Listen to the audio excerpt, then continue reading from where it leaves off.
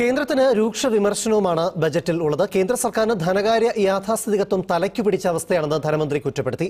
Covid സൃഷ്ടിച്ച അസമത്വങ്ങൾക്കിടയിലും കോർപ്പറേറ്റുകളെ സഹായിക്കുന്നുവെന്നും സംസ്ഥാനത്തിന്റെ നികുതി വിഹിതം കേന്ദ്രം അന്യായമായി വെട്ടിക്കുറയ്ക്കുന്നുവെന്നും അദ്ദേഹം ആരോപിച്ചു.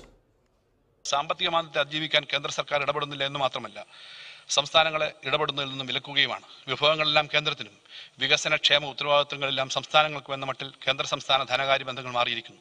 ചരക്ക് സേവന നികുതി നടപ്പിലായതോടുകൂടി സംസ്ഥാനങ്ങളുടെ നിധി നികുതി അധികാരം പൂർണമായും ഇല്ലാതായി. ഈ മാറ്റങ്ങൾ എല്ലാ സംസ്ഥാനങ്ങളെയും ബാധിക്കുന്നുണ്ടെങ്കിലും കേരളത്തെ കൂടുതൽ പ്രതികൂലമായി ബാധിക്കുന്നു. എന്നത് ആവർത്തിച്ച് പറയേണ്ട കാര്യമാണ്.